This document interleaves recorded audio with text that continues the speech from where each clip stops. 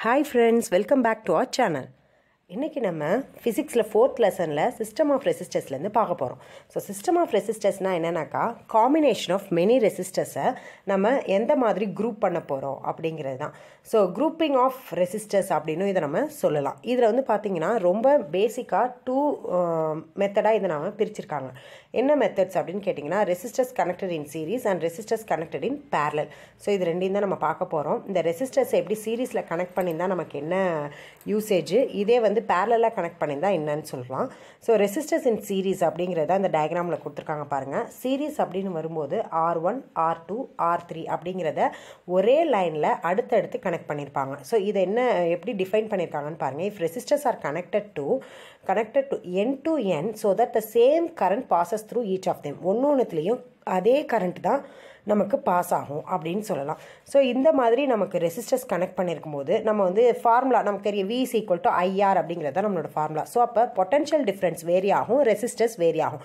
So V one is equal to IR one V two is equal to IR two V three is equal to IR three ஏன்னா இதில் என்ன சொன்னாங்க? Same current தான் எல்லாத்துக்கும் pass ஆகும்னு சொல்லியிருக்காங்க. அப்போ ஐங்கிறது எப்போதுமே கான்ஸ்டண்ட்டாக இருக்கும். அந்த ஃப்ளோ அந்த current flowing through this circuit எப்போதுமே என்ன தான் இருக்கும்? கான்ஸ்டண்ட்டாக இருக்குது so I R one I R two I R three இப்போ இது எல்லாத்தையுமே ஆட் பண்ணுறோம் so V is equal to sum of the எல்லாத்தையுமே நம்ம ஆட் பண்ணுறோம் அப்படிங்கும்போது சம் அப்படின்னு வி அப்படின்னு எடுத்துக்கிறோம். V is equal to V one plus V two plus V three அப்போ V one V two we த்ரீல அதை சப்ஸ்டியூட் பண்ணோன்னா என்ன வரும்?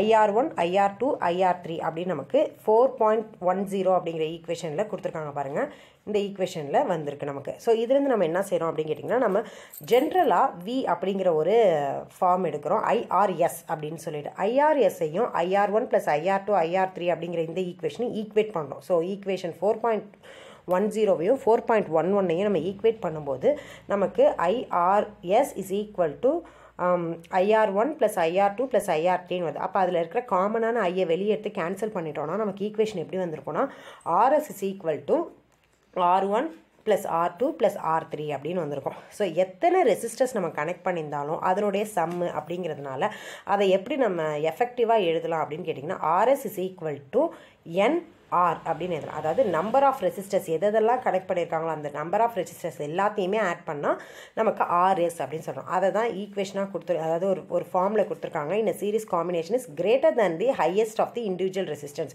ஒரு இண்டிவிஜுவல் ரெசிஸ்டன்ஸ் நம்ம கனெக்ட் பண்ணுறதை விட இந்த மாதிரி சீரிஸில் நம்ம கனெக்ட் பண்ணும்போது கண்டிப்பாக நமக்கு ரெசிஸ்டன்ஸோட வேல்யூ என்ன கிடைக்கும் அப்படின்னா ஹையஸ்ட்டாக இருக்கும் அப்படின்னு நமக்கு சொல்கிறாங்க ஸோ அதில் ஒரு சம்மும் கொடுத்துருக்காங்க பாருங்கள் five ohms three ohms and two ஓம்ஸில் நமக்கு என்ன செஞ்சுருக்காங்கனாக்கா ஒரு சீரீஸில் ரெசிஸ்டர்ஸ் கனெக்ட் பண்ணியிருக்காங்க பண்ணியிருக்காங்க டென் வால்ட் பேட்ரி வந்து அதில் கனெக்ட் பண்ணியிருக்காங்க.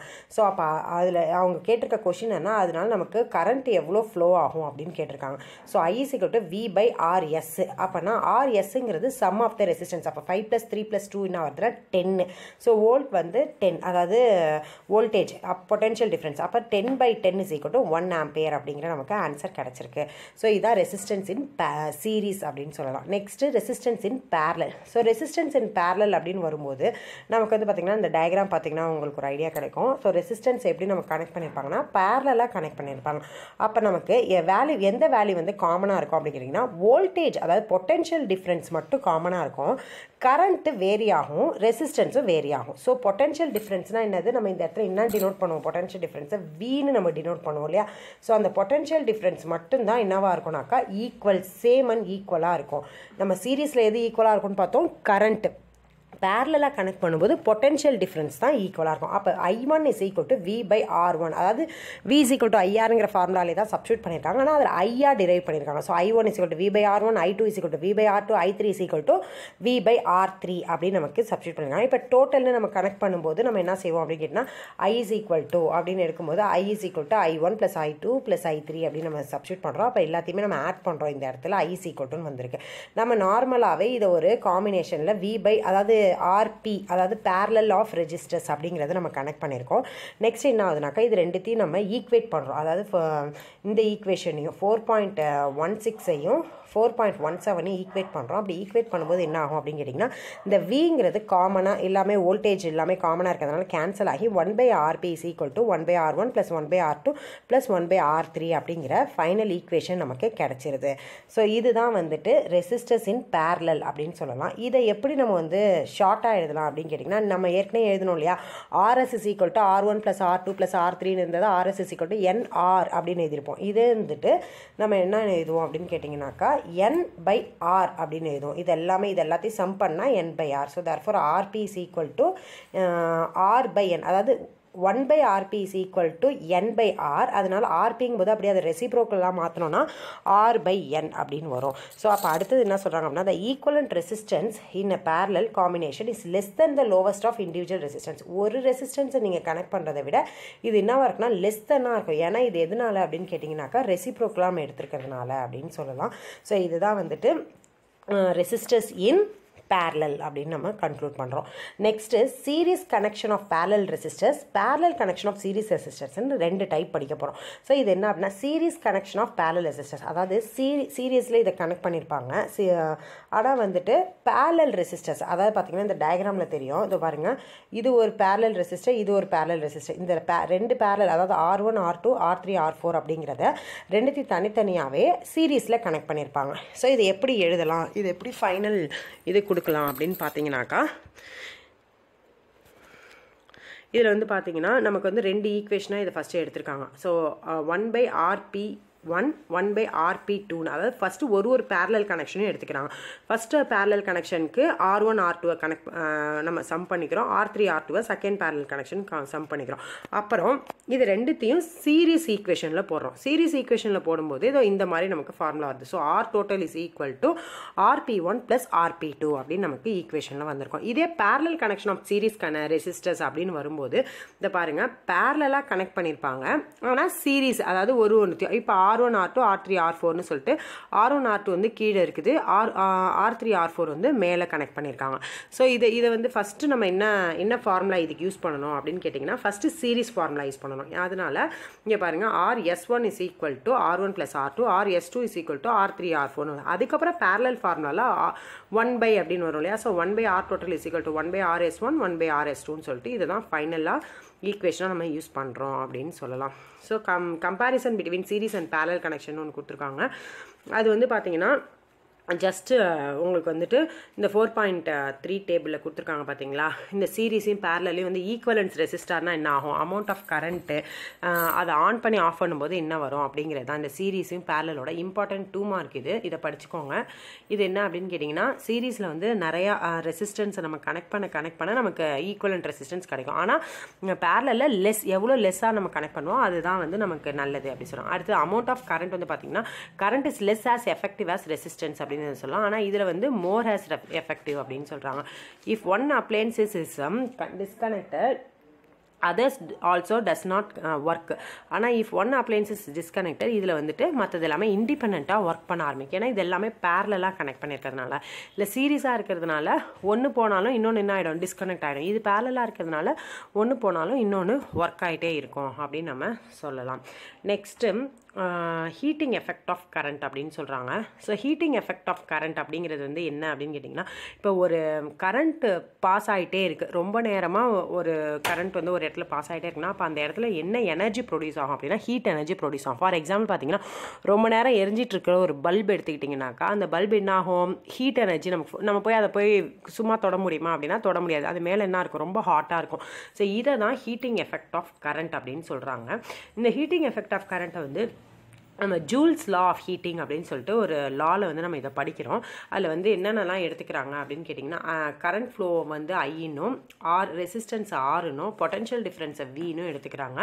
அதே மாதிரி டைம் ட்ரா டைம் ட்ராவல் வந்து டி அப்படின்னும் கியூனும் எடுத்துக்கிறாங்க. ஸோ இது என்ன அப்படின்னு கேட்டிங்கன்னா ஒர்க் டன் அப்படிங்கிறத வந்து நம்ம வந்துட்டு கால்குலேட் பண்ண போகிறோம் ஸோ இது எப்படி கால்குலேட் பண்ணுறோம் அப்படின்னு கேட்டிங்கனாக்கா ஹெச் இஸ் ஈக்குவல் டு அதாவது ஒர்க் டன் ஹீட் ஹீட்டை தான் இதில் ஹெச் அப்படின்னு எடுத்துக்கிறோம். H is equal to work done is equal to V into Q அதாவது பொட்டென்ஷியல் டிஃப்ரென்ஸையும் நம்மளுடைய சார்ஜையும் நம்ம வந்து மல்டிபிள் பண்ணுறோம் சார்ஜ் அண்ட் கரண்ட் அப்படின்னு சொல்லலாம். ஸோ அடுத்தது வந்து பார்த்தீங்கன்னாக்கா இந்த கியூவோட வேல்யூ இதை வச்சுருக்காங்க பாருங்கள் Q is equal to I into T அதாவது கரண்ட் இன்ட்டு டைம் டேக்கன் அப்படின்னு சொல்லலாம். அந்த கரண்ட் இன்ட்டு டைம் டேக்கனை இந்த வியில் சப்ஸ்டியூட் பண்ணுறாங்க இந்த வியில் சப்ஸ்டியூட் வி கியூ அப்படிங்கிறதுல சப்ஸ்டியூட் பண்ணுறாங்க அப்போ வி இன்ட்டு ஐடி அப்படின்னு நமக்கு ஒரு புது ஈக்குவேஷன் வந்திருக்கு. ஹெச் இஸ் ஈக்குவல் டு அப்புறம் நமக்கு வி விக்கான ஃபார்ம்லாம் நமக்கு நல்லா தெரியும். வி இஸ் ஈக்குவல் டு என்னது?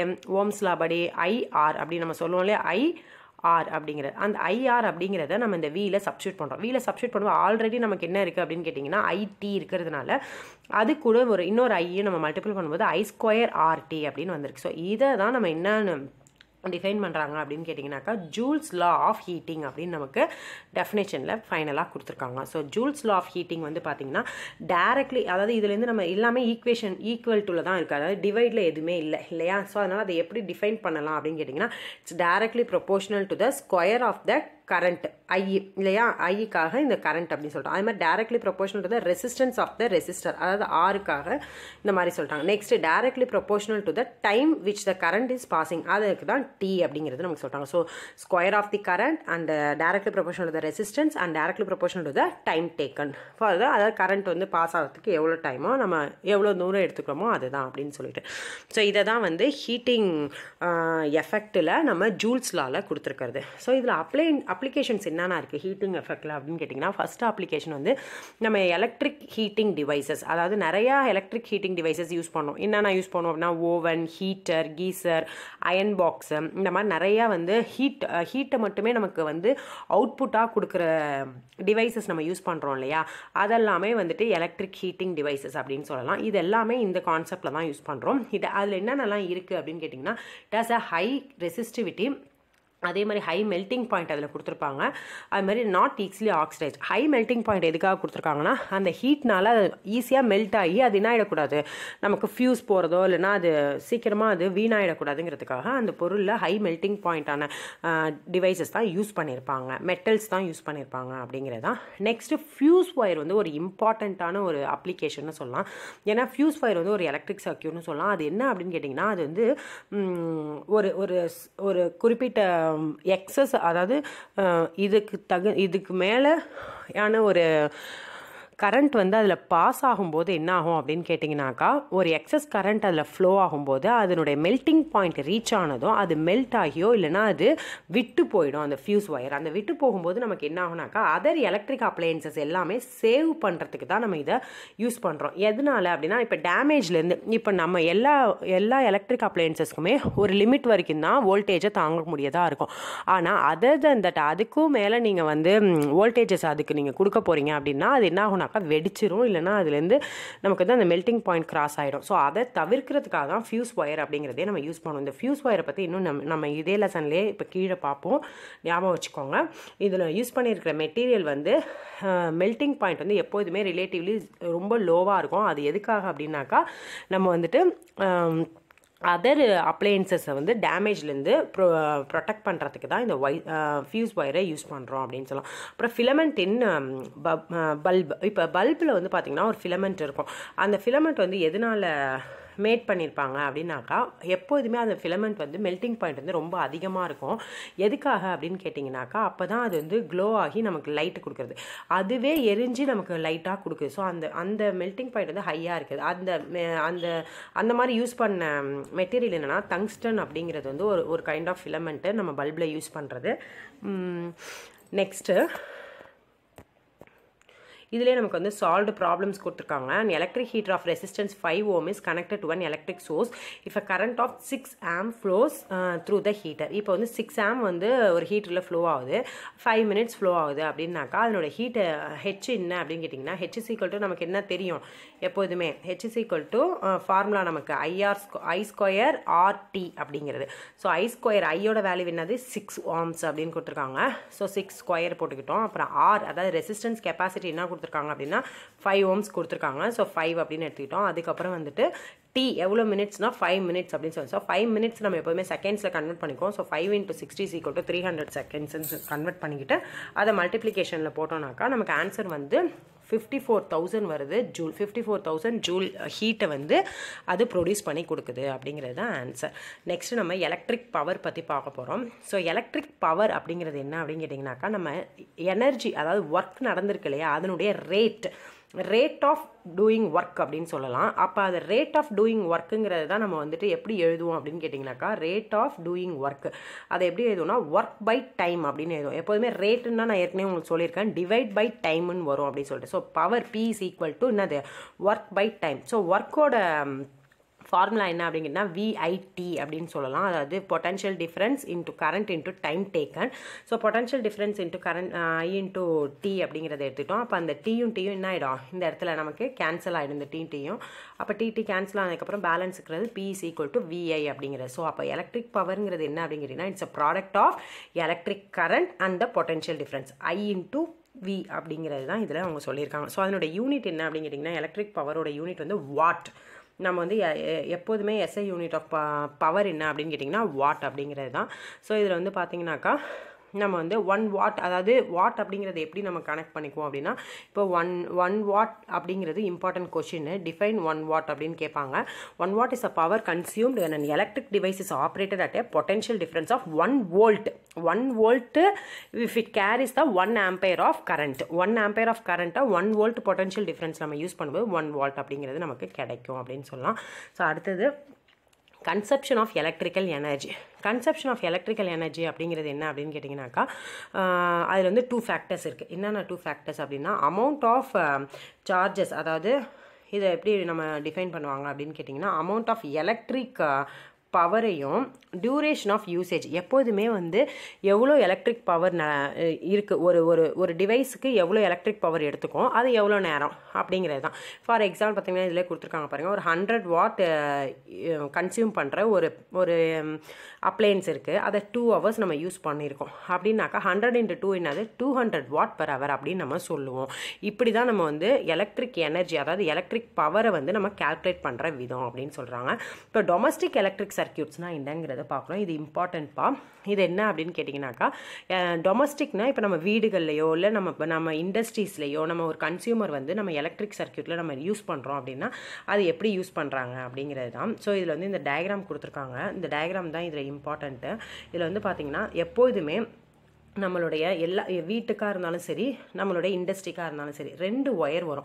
அதுதான் live wire and neutral wire அப்படின்னு சொல்லுவோம். இந்த லைவ் அண்ட் நியூட்ரல் ஒயர் வந்து ஃபஸ்ட்டு எதை கிராஸ் ஆகும் அப்படின்னு கேட்டிங்கன்னா இந்த இந்த ஃபியூஸை ஃபஸ்ட்டு கிராஸ் ஆகும். இந்த ஃபியூஸில் என்ன ஆகிடும் அப்படின்னா இன்கேஸ் உங்களுக்கு வந்து நிறையா கரண்ட் வருது அப்படின்னா இந்த ஃபியூஸ் ஒயரில் என்ன ஆகிடும்னாக்கா பிரேக் ஆகிடும் இன்கேஸ் வந்து உங்களுக்கு நார்மல் கரண்ட் அப்படின்னாக்கா அது அடுத்த ஸ்டெப்புக்கு மீட்டருக்கு போகும். மீட்டர் எதுக்கு யூஸ் பண்ணுவோம் நம்ம? மீட்டர் வந்து நம்மளுடைய கரண்ட்டை வந்து எந்த- நம்ம எவ்வளோ யூஸ் பண்ணுறோம் அப்படிங்கிறத தான் மீட்ரு யூஸ் பண்ணுவோம் அதுக்கப்புறம் மெயின் ஸ்விட்ச் இருக்கும். மெயின் ஸ்விட்ச் எதுக்கு யூஸ் பண்ணுவோம் அப்படின்னு கேட்டிங்கனாக்கா நம்மளுடைய கரண்ட்டை வந்து நம்ம ஆஃப் பண்ணி போடுறதுக்கோ இல்லை ஏதாவது ஒருத்துக்கு நம்ம வந்து மெயின் ஸ்விட்சை யூஸ் பண்ணிக்கலாம். நெக்ஸ்ட் என்னன்னாக்கா கான்ஃபிகரேஷன் ஆஃப் அதாவது நம்ம ஒயர்ஸ் எல்லாத்தையுமே வந்துட்டு கனெக்ட் பண்ணியிருப்பாங்க பேரலில் இந்த பேரலாக கனெக்ட் பண்ணதில் டூ டைப்ஸ் ஆஃப் கனெக்ஷன்ஸ் கொடுத்துருப்பாங்க.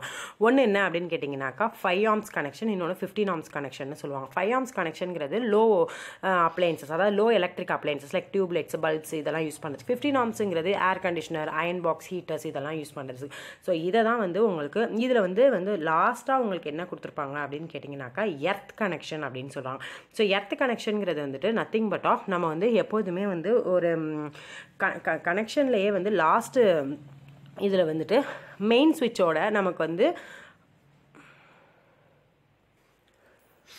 ஸோ எர்த் கனெக்ஷன் வந்து எப்போதுமே நமக்கு வந்து இந்த எலக்ட்ரிசிட்டி மீட்டரோடு தான் கனெக்ட் பண்ணியிருப்பாங்க ஸோ இப்போ வந்து பார்த்தீங்கன்னா இதில் கொடுத்துருக்க இந்த ஓவரால் இதை பற்றி நான் எல்லாமே உங்களுக்கு டிஸ்கிரைப் பண்ணிட்டேன். இதில் லைவ் ஒயர் நியூட்ரல் ஒயர்னு ரெண்டு வரும். அது வந்துட்டு நமக்கு மெயின் ஃபியூஸ்லேருந்து தான் கிராஸ் ஆகும். இந்த மெயின் ஃபியூஸ்லேயே டூ டைப்ஸ் ஆஃப் ஃபியூசஸ் இருக்குது அதை பற்றி இதில் சொல்லியிருக்காங்க பாருங்கள் மெயின் ஃபியூசஸ்லேயே ஃபியூஸ் அண்ட் எம்சிபி அப்படின்னு சொல்லுவாங்க. ஸோ எம்சிபினா என்ன அப்படின்னு கேட்டிங்கனாக்கா it's a it's a kind of miniature circuit breaker அப்படின்னு சொல்லுவாங்க. மினியேச்சர் சர்க்கியூட் பிரேக்கரில் என்னென்னலாம் யூஸ் பண்ணியிருப்பாங்க அப்படின்னா ஒரு எலக்ட்ரோ மேக்னெட் வச்சுருப்பாங்க. அந்த எலக்ட்ரோ மேக்னெட்டோட என்ன பண்ணியிருப்பாங்க ஒரு ஸ்ப்ரிங்கை வந்து அட்டாச் பண்ணியிருப்பாங்க அந்த ஸ்ப்ரிங்கும் எலக்ட்ரோ மேக்னெட்டும் எப்போனா ஒரு எக்ஸஸ் கரண்ட் வரும்போது அது டக்குன்னு என்ன ஆகிடுனாக்கா அந்த அந்த சர்க்கியூட் வந்து பிரேக் ஆகிடும் அந்த சர்க்கியூட் பிரேக் ஆகும்போது நமக்கு வந்து இந்த அப்ளைன்சஸ் வந்து நம்ம மற்ற அப்ளைன்சஸ் எல்லாம் நம்ம வந்து சேஃபாக பார்த்துக்கிறதுக்கு இந்த எம்சிபி யூஸ் பண்ணுவாங்க. இது ரெண்டுமே வந்து ஃபியூஸ் ஃபியூஸ் அண்ட் எம்சிபிங்கிறது ரெண்டுமே இப்போ யூஸ் பண்ணுறாங்க நெக்ஸ்ட்டு வந்து பார்த்தீங்கன்னா ஓவர்லோடிங் அண்ட் ஷார்ட் சர்க்கியூட்டிங்னா என்ன அப்படின்னு கேட்டிருக்காங்க. ஸோ ஓவர்லோடிங் அப்படிங்கிறது வந்து எப்போதுமே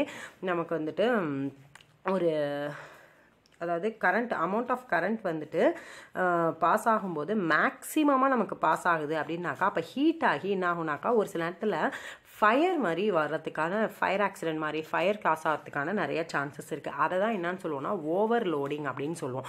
இதே ஷார்ட் சர்க்கியூட்னா என்ன அப்படின்னா நான் ஏற்கனவே சொன்னேன் உங்களுக்கு ரெண்டு ஒயர் வரும். லைவ் ஒயர் நியூட்ரல் ஒயர்னு ரெண்டு ஒயர் வரும். அந்த ரெண்டு ஒயரும் என்ன ஆகுனாக்கா இன் கான்டாக்ட் அதாவது ரெண்டுமே ஏதாவது ஒரு இடத்துல வந்து டச் ஆகிக்குது அப்படின்னாக்கா அப்போ நமக்கு ஃபாலோ ஆகிறதா என்னன்னு சொல்லுவோம்னா ஷார்ட் சர்க்கியூட் அப்படின்னு சொல்லுவாங்க. இது எது எப்போல்லாம் நடக்கும் அப்படின்னு கேட்டிங்கன்னா அது வந்து ஒரு சில நேரத்தில் வந்துட்டு டெம்பரேச்சர் சேஞ்ச்னால நடக்கும். இல்லை எக்ஸ்டர்னலாக யாராவது அதை வந்து நம்ம டச் பண்ணும்போது இந்த மாதிரிலாம் நடக்கும்போது இந்த ஷார்ட் சர்க்கியூட் நமக்கு நடக்கிறதுக்கு வாய்ப்பு இருக்குது அப்படின்னு சொல்லலாம். ஸோ நெக்ஸ்ட் வந்து எர்த்தனிங் இப்போ எர்த்தனிங் அங்கே எர்த்துன்னு ஒன்று பார்த்தோம் இல்லையா? ஸோ அதை தான் இந்த இடத்துல வந்து டீப்பாக கொடுத்துருக்காங்க. எர்த்தனிங்கிறது தான் வந்து தேர்ட் ஒயர் இந்த இது அதாவது நான் லைவ் ஒயர் அண்டு இன்னொன்று என்ன சொன்னேன்? நியூட்ரல் ஒயர்னு சொன்னேன் இல்லையா? அந்த எர்த்தனிங்கிறது தான் தேர்ட் ஒயர் இது வந்து க்ரீன் ஐசோலேஷனில் இருக்கும் எப்போதுமே. இது வந்து எப்போனாக்கா இதை வந்துட்டு எர்த்தோட தான் இதை கனெக்ட் கனெக்ட் பண்ணியிருப்பாங்க. எர்த்தோட ஒரு மெட்டல் டியூப் இல்லைன்னா மெட்டல் எலக்ட்ராடோட இதை கனெக்ட் பண்ணியிருப்பாங்க. ஸோ இது என்ன செய்யும் அப்படின்னு கேட்டிங்கன்னா it provides a low resistance path to the electric current நம்ம எலக்ட்ரிக் கரண்ட்டுக்கு ஒரு லோ ரெசிஸ்டன்ட் பார்ட்ஸை எப்போதுமே கொடுக்கும். இது கொடுக்கறது மூலயமா நமக்கு என்ன நடக்கும் அப்படின்னா இட் இட் ப்ரொடெக்ட் கண்டக்டர் இது மற்ற எல்லா எல்லாத்தையும் வந்து நம்மளை பாதுகாக்கும். குறிப்பாக நமக்கு வந்து இந்த எலக்ட்ரிக் ஷாக்ஸ்லேருந்து நம்மளை வந்து இது பண்ணுறது தான் இந்த எர்த்தனிங் அப்படின்னு சொல்லுவாங்க. நெக்ஸ்ட்டு நம்ம எல்இடி பல்ப்ஸ் பற்றி பார்க்குறோம். ஸோ எல்இடி பல்புங்கிறது நமக்கு ஒரு செமிகண்டக்டர் டிவைஸ்ன்னு சொல்லலாம். அது வந்து பார்த்தீங்கன்னாக்கா அது வந்து கரண்ட் எமிட் பண்ணுற டைப் இதுவே வந்து எமிட்டட் லைட்ஸ்ன்னு சொல்லுவோம் இல்லையா? சின்ன சின்ன குட்டி குட்டி லைட்ஸ் அந்த எமிட்டட் லைட்ஸ் யூஸ் பண்ணி தான் நம்ம வந்து இதில் வந்து கரண்ட்டே நமக்கு பாஸ் ஆகும். இதில் என்ன மெட்டீரியல்ஸ் கெமிக்கல் காம்பனன்ட்ஸ் யூஸ் பண்ணியிருக்காங்க அப்படின்னா gallium arsenide and gallium phosphide அப்படிங்கிற ரெண்டு மாதிரியான மெட்டீரியல் காம்பனன்ட்ஸ் யூஸ் பண்ணியிருப்பாங்க கெமிக்கல்ஸ் இதனால் என்னன்னாக்கா என்னென்ன கலர்ஸில் நமக்கு இது கிடைக்கும் அப்படின்னா ரெட்டு க்ரீனு எல்லோ ஆரஞ்சு இந்த மாதிரி கலர்ஸில் கிடைக்கும். இது எல்லா இடத்துலையுமே இப்போ வேரியஸ் டைப்ஸில் யூஸ் பண்ணுறாங்க கேல்குலேட்டரு சிக்னல்ஸில் ஸ்ட்ரீட் லைட்ஸில் டெக்கரேட்டிவ் லைட்ஸில் இந்த மாதிரி நிறைய இடத்துல இந்த எல்இடி பல்ப்ஸை யூஸ் பண்ணுறாங்க அப்படி சொல்லலாம். இதில் வந்து பார்த்திங்கன்னா ஒரு முக்கியமான ஒரு செக்மெண்ட் லேயர் நமக்கு ஒன்று இருக்குது அது என்ன அப்படின்னு கேட்டிங்கன்னா செவன் செக்மெண்ட் டிஸ்பிளே அப்படின்னு அது சொல்கிறாங்க செவன் செக்மெண்ட் டிஸ்பிளே அப்படிங்கிறது வந்து இந்த மாதிரி எயிட் ஃபார்மெட்டில் நமக்கு வந்திருக்கும். ஸோ அது என்னென்னா ஏபிசிடிஇஎஃப்ஜி e, அப்படின்னு செவன் டைப்ஸ் இருக்கும். செவன் இது இருக்கும். இதில் வந்து எயித்து டிஸ்பிளேன்னு ஒன்று இருக்குது அந்த எயித்து டிஸ்பிளே தான் என்ன அப்படின்னு கேட்டிங்கனாக்கா எயித்து எல்இடி டிஸ்பிளே தான் இந்த டாட் இந்த பக்கத்தில் இருக்குல்லையா அந்த டாட்டை தான் நம்ம எயித்து டிஸ்பிளேன்னு சொல்லுவோம். ஸோ இது வந்து டிஜிட்டல் மீட்டர்ஸில் மைக்ரோவேவ் ஓவன்ஸில் கிளாக்ஸில் எல்லாத்துலேயுமே நம்ம இந்த எயித் டிஸ்பிளே எயிட் மாதிரியான டிஸ்பிளேவை நீங்கள் பார்த்துருந்துருக்கலாம். நெக்ஸ்ட் இதனுடைய இந்த எல்இடி பல்ப் இருக்குல்லையா அந்த எல்இடி பல்போட மெரிட்ஸ் என்ன அப்படின்னு கேட்டிங்கன்னா ஃபஸ்ட்டு மெயின் மெயினான அந்த மேஜர் இது என்ன அப்படின்னு கேட்டிங்கனாக்கா இதனுடைய கரண்ட் கன்சப்ஷன் வந்து ரொம்ப ரொம்ப சிக்னிஃபிகண்ட் சிக்னிஃபிகண்ட்லி ரொம்ப ரொம்ப லெஸ்ஸு ஸோ அது வந்து ரொம்ப cost effective and energy effective அப்படின்னு சொல்லலாம். அடுத்தது என்ன அப்படின்னா அதில் வந்து ஃபிலமெண்ட்டே கிடையாது. அதாவது அதில் சொன்ன இல்லையா தங்சன் ஒரு ஃபிலமெண்ட் இருக்கும் பல்பில்னா அந்த மாதிரியான ஒரு ஃபிலமெண்ட்டே இதில் கிடையாது. இது வந்து பார்த்திங்கன்னா நிறைய கலர்ஸில் நமக்கு வந்து கிடைக்கிது கம்பேரேட்டிவ்லி அதுக்கப்புறம் இது வந்து என்விரான்மெண்ட்டுக்கு ஹார்ம்ஃபுல் கிடையாது. அதுக்கப்புறம் வந்துட்டு அதில் வந்து மெர்க்குரி மாதிரியான ஹார்ம்ஃபுல்லான எந்த ஒரு இதுவுமே அவங்க யூஸ் பண்ணலை அப்படின்னு சொல்லலாம். நெக்ஸ்ட்டு எல்இடி டெலிவிஷன் ஸோ இதுதான் லாஸ்ட் டாப்பிக்கு எல்இடி டெலிவிஷன்றது வந்துட்டு நம்ம இப்போ பார்க்குறதுலே வந்து பார்த்திங்கன்னா ஒரு நல்ல ஒரு இந்த எல்இடி அந்த லைட் எமிட்டிங் டயோட்ஸ் யூஸ் பண்ணி நமக்கு கொடுத்துருக்கிற ஒரு நல்ல அப்ளிகேஷன்னா அது டெலிவிஷன்னு சொல்லலாம். ஸோ அந்த டெலிவிஷன் வந்து பார்த்திங்கனாக்கா நிறையா ஃபஸ்ட்டு வந்து பார்த்திங்கன்னா அது வந்து ரெண்டே ரெண்டு கலர் பிளாக் அண்ட் ஒயிட்டில் தான் அது வந்து ரெடி பண்ணாங்க அந்த எல்இடிஸ் இதை. அதுக்கப்புறமேல ரெட்டு க்ரீன் அண்ட் ப்ளூ அப்படின்னு ஆர்ஜிபியில் கலர்ஸில் கண்டுபிடிக்க ஆரம்பித்தாங்க இதில் ஃபஸ்ட்டு இந்த எல்இடி டெலிவிஷனை கண்டுபிடிச்சது யாருன்னா ஜேம்ஸ் பி மித்தாச்சல் அப்படிங்கிறவர். நைன்டீன் செவன்ட்டி செவனில் கண்டுபிடிச்சார். ஆனால் அதுக்கப்புறம் ஒரு ஒரு த்ரீ டிகேட்ஸ்க்கு அப்புறம் ஒரு முப்பது வருஷத்துக்கு அப்புறம் டூ தௌசண்ட் நைனில் சோனி தான் வந்து ஃபஸ்ட் ஃபஸ்ட்டு கமர்ஷியல் எல்இடி டெலிவிஷனை வந்து வெளியிட்டாங்க. ஸோ இதனுடைய LED so advantage of LED television பற்றி இப்போ நம்ம பார்க்குறோம் இது வந்து பார்த்திங்கன்னா கம்பேரேட்டிவ்லி நமக்கு வந்து பிரைட்டர் டிஸ்பிளே குவாலிட்டி கொடுக்குது. அதோட அதனுடைய சைஸும் ரொம்ப தின்னராக இருக்குது அதனுடைய பவர் கன்சப்ஷனும் மற்ற நம்ம நார்மல் டிவியை விட ரொம்ப கம்மி. அதோட அதனுடைய லைஃப் ஸ்பேம் அதிகம். அது வந்து ரொம்ப ரிலேயபிளாகவும் யூஸ் பண்ணிக்கலாம். ஸோ இதெல்லாம் தான் எல்இடி டெலிவிஷனோட அட்வான்டேஜஸ் ஸோ இதோட உங்களுக்கு ஃபோர்த் லெசன் கம்ப்ளீட் ஆகுது. ஸோ மற்ற லெசன்ஸோட லிங்க் எல்லாமே உங்களுக்கு டிஸ்கிரிப்ஷன் பாக்ஸில் கொடுத்துருக்கோம். அதோட மட்டும் இல்லாமல் இதில் எது எதெல்லாம் வந்துட்டு உங்களுக்கு இம்பார்ட்டன்ட்னு சொ சொல்லும் போதே நான் சொல்லியிருக்கேன். ஸோ இதெல்லாம் நல்லா படிச்சுக்கோங்க. ஸோ இதோட உங்களுக்கு இந்த வீடியோ பிடிச்சிருந்தா லைக் பண்ணுங்கள் ஷேர் பண்ணுங்கள் மறக்காமல் சப்ஸ்கிரைப் பண்ணுங்கள் தேங்க்ஸ் ஃபார் வாட்சிங் திஸ் வீடியோ பை பாய்